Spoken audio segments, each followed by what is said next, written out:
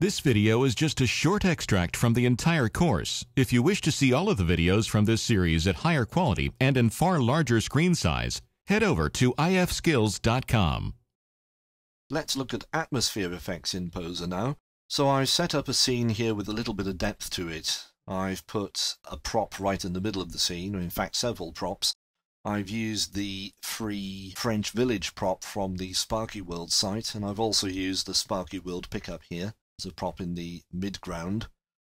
And I've put Ryan right in the foreground. I've also set up an environment dome in the background and one point light using indirect lighting. So, to set up my atmosphere effects, I come into the material room, and if you look on the object list here, drop that down, at the bottom you can see there's an atmosphere entry. And if you click on that option, then the node appears. Now using this node, you can add depth cue and volume atmospheric effects to the rendered scene. It's also possible to do that using Wacros. I'll just open the flyout here, and there's a button for Create Atmosphere, and there are a number of presets here already. Fog, Smoke, Smoky Room, and Depth cue. I'm not going to use those for the moment, I'm just going to use the Atmosphere node, so I'll click on the OK button here. And using a node then, you can actually apply atmospheric effects to other props. For instance, I could put a single-sided square plane in the scene to put fog at kind of knee level.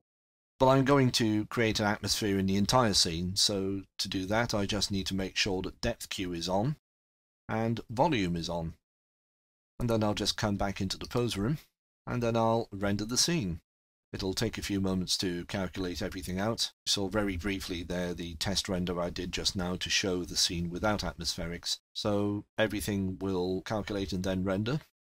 And there's the render finished. Now, if I just slide between the test render I did earlier and this render, the wiper tool here, you can see the difference in the depth on the image. Ryan is receding slightly, but the sky dome in the background is now completely fogged out. That's the effect that I wanted. And this can be controlled from the node to a greater degree if you want to, but that is an atmospheric effect applied to the scene.